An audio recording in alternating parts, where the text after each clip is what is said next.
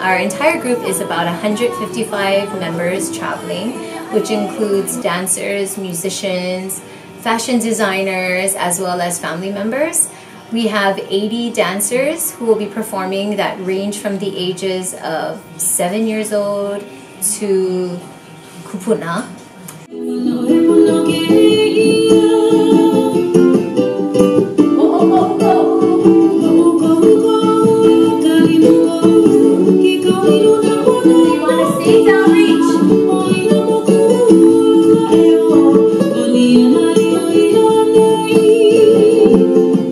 It's important for me to give my students an opportunity to understand the importance of perpetuating our culture by sharing it with others all over the world.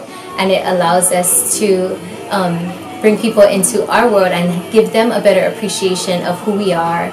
To perpetuate culture and to build confidence with them to be able to be on stage and perform and to share what they love which is our hula you know